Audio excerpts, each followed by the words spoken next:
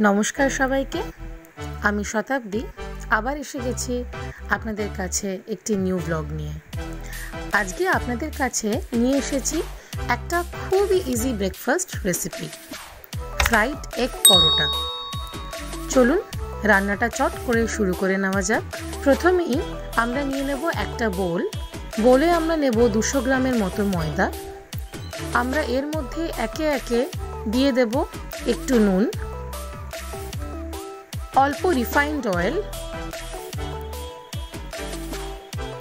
আর অল্প জোয়ান। তারপর ভালো করে মিক্স করে নেব। ভালো করে ময়দাটা মেখে নিতে হবে। পরিমাণ মতন অল্প অল্প জল দেব। দেখুন, এইভাবে আমরা ভালো করে ময়দাটা সব ইনগ্রিডিয়েন্টস দিয়ে মেখে নিয়েছি।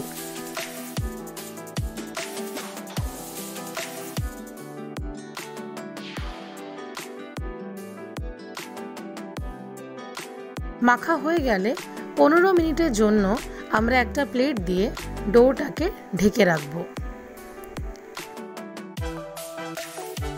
পনেরো মিনিট বাদে প্লেটটা সরিয়ে নিয়ে ময়দার নিচেগুলো কেটে নিলাম।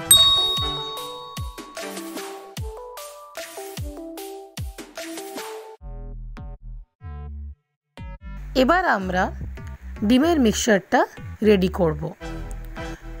দেখুন, এখানে পরোটা বেলার জন্য একটু আটা নিয়ে নিলাম। আমরা একটা বোলে দুটো ডিম ফেটিয়ে নিয়েছি।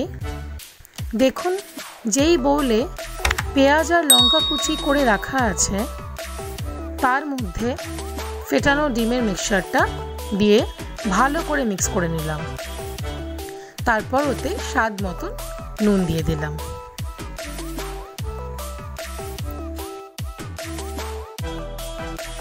এবার আমরা লিচিগুলোকে এক এক করে পরোটার মতন স্কোয়ার শেপে বেলে নেব।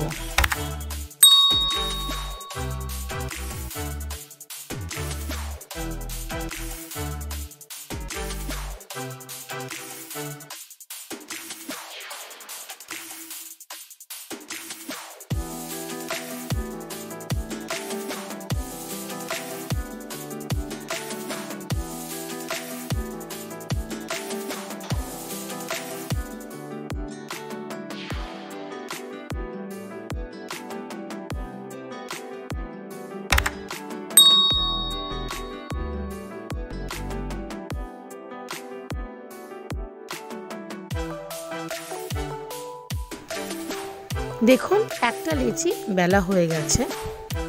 এরমভাবে আমরা সব কটা লিচি বেলে নিয়েছি। এবার একটা ননস্টিক কড়াই গরম করতে বসিয়ে দিলাম। কড়াই গরম হলেই আমরা একটা পরোটা কড়াইয়ে ভালো করে একটা সাইড সেকে নিলাম। একটা সাইড শেখা হয়ে গেলে ওটাকে উল্টে দিয়ে আবার পরের সাইডটা একই প্রসেসে সেকে নিলাম। তারপর আমরা রিফাইন্ড অয়েল ইউজ করব পরোটাগুলোকে তৈরি করার জন্য। আপনারা দেখতেই পারছেন যে আমরা ব্রাশ ইউজ করছি।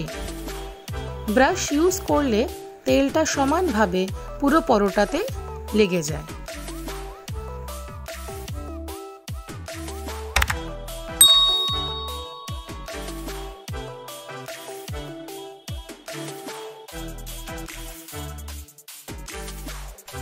এবার আমরা ডিমের যে মিশ্রণটা রেডি রেখেছি, সেটাকে চামচ দিয়ে অল্প অল্প করে পরোটার উপরে দিয়ে দেব। তারপর দুপাশ ভালো করে ভেজে নেব।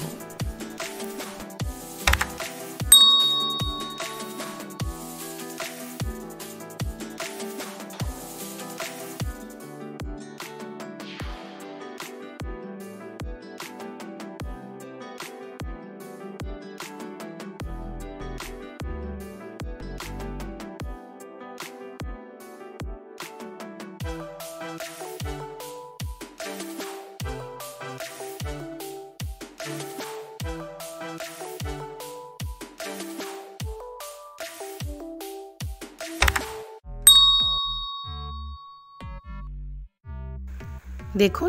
আমাদের একটা পরোটা রেডি এরমভাবে সবকটা ডিম পরোটা ভেজে নেব।